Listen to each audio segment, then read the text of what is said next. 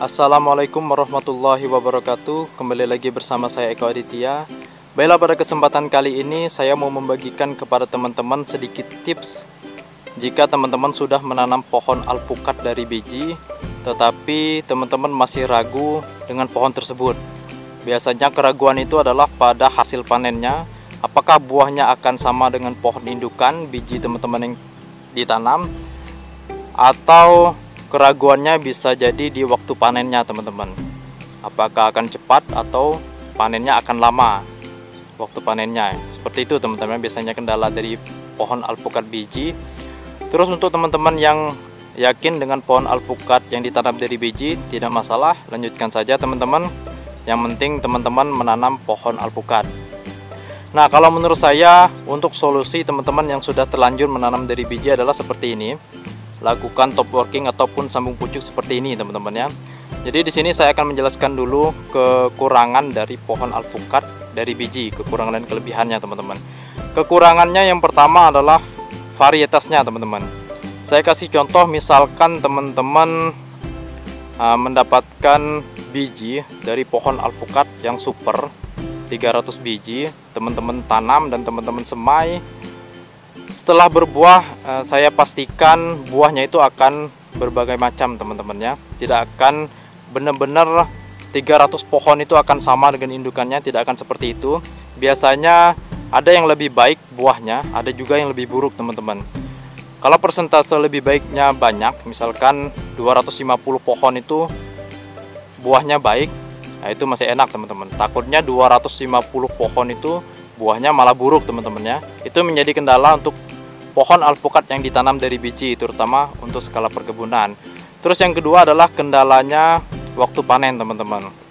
Karena pohon alpukat dari biji ini ada yang panennya 2 tahun 3 tahun sudah panen. Ada juga 7 tahun 8 tahun itu masih belum panen juga teman-teman atau belum berbuah juga teman-teman.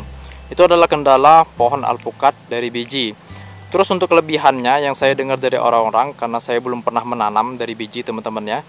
Yang pertama itu daya tahan pohonnya menurut mereka, menurut orang-orang, teman-teman saya itu pohon alpukat dari biji itu daya tahannya lebih baik daripada pohon alpukat uh, sambung pucuk atau stek seperti ini teman-teman. Terus lagi buahnya ketika berbuah itu buahnya sangat banyak. Nah, itu adalah kelebihannya menurut mereka teman-teman ya. Nah, kalau menurut saya solusinya jika teman-teman me memang mau mengganti alpukat dari biji, solusinya seperti ini teman-teman. Teman-teman potong kurang lebih uh, uh, sepinggang, sedada atau lebih tinggi tidak masalah teman-teman. Dan teman-teman akan tunggu tunas baru teman-teman ya. Setelah teman-teman muncul tunas baru, teman-teman sambung tunas yang terbaik. Tunas terbaik itu adalah tunas yang paling cepat tumbuh teman-teman, yang paling besar. Itu adalah tunas terbaik teman-teman dan teman-teman sisakan juga satu tunas lagi. Ketika teman-teman buang tunas kebanyakan tunas teman-teman sisa juga satu tunas lagi teman-teman seperti ini. Jadi ini adalah uh, tunas yang di top working ataupun sambung pucuk. Ini adalah tunas dari pohon utamanya nih alpukat madu. Jadi ini adalah alpukat madu ini adalah alpukat SWY 02 teman-teman. SWY 02 ini saya uh, sambungkan di sini karena saya tidak mempunyai alpukat SW02 teman-teman ya. Makanya saya TW di sini. Nah setelah besar seperti ini tunas yang satunya bawaan pohon indukannya kita potong teman-teman. Nah, jadi kita gunakan itu ketika di awal untuk proses fotosintesis.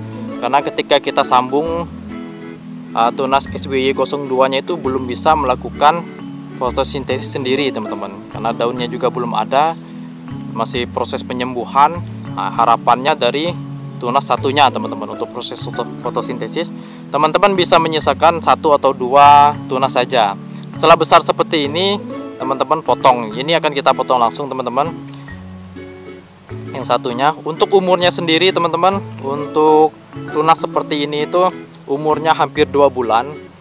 Kalau teman-teman tanam dari biji dari polybag itu dua bulan tidak akan saya rasa hampir dua bulan tuh tidak akan sebesar ini teman-teman. Ini saja proses tingginya ini baru dua minggu teman-teman. Jadi satu bulan lebih sedikit itu proses penyembuhannya karena kemarin itu saya kirim uh, cukup lama teman-teman ya 5 hari ketika saya kirim interestnya ini baru dua minggu sudah bisa sebesar ini teman-teman. Yang sebelahnya kita potong saja seperti ini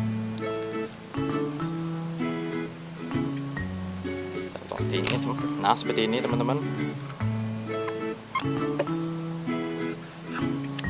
Nah jadi kita sisakan satu saja teman-teman. Biasanya kalau sudah sebesar ini kita sisakan satu. Ini insya Allah akan baik-baik saja.